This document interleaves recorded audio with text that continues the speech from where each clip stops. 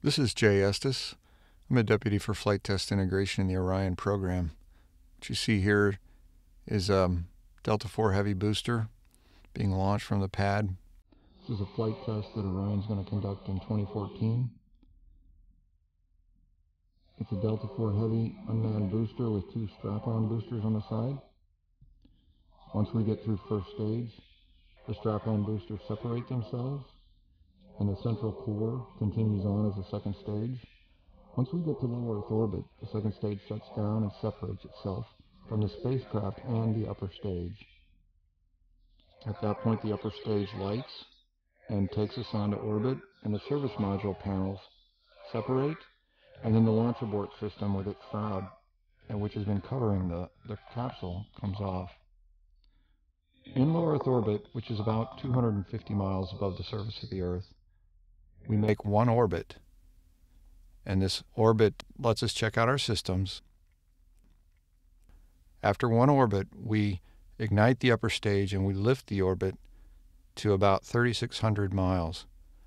Now, 3,600 miles is approximately 10 times higher than any man rated spaceship has been since 1972 when we came back from the moon. And the reason we're doing this is to test our heat shield on entry. The heat shield be exposed to uh, heating much like you would get from the moon, and uh, we'll be able to demonstrate that our heat shield is sufficient for recovering people from missions beyond Earth. And as we begin to enter, the capsule then separates from the service module section. service module section stays attached to the upper stage, and here you see control jets that are firing to control the attitude for entry and as we enter, we experience the maximum heating lower in the atmosphere. And this is a primary test of Exploration Flight Test 1 is that heat shield.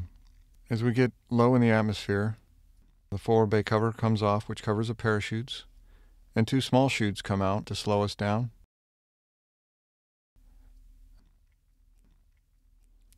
And after we slow down, those separate. Three small pilot chutes come out to open three main parachutes, which initially open at about 3% opening. Then they go to 10% open, and then they go to full open. We use those staging to keep the forces on the chutes lower. It makes for a softer ride, and it keeps our chutes safe. We enter the water at a slight angle to help the crew with the impact to the water. The parachutes fall in the water. We hope to recover those. And we're cooperating with the Navy, and we're using one of their well deck ships uh, to recover our capsule.